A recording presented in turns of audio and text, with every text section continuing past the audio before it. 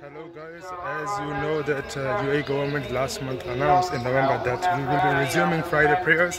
Since March we didn't have Friday prayers due to coronavirus and today we are going, uh, this is 4th December and today we are going for our first Friday prayer after a long time. Let's see how it is and people are rushing to have their first Friday prayers.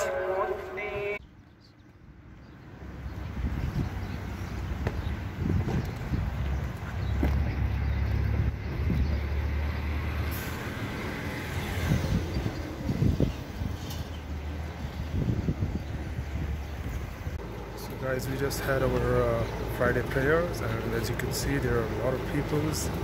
They were just like craving to have their Friday prayers.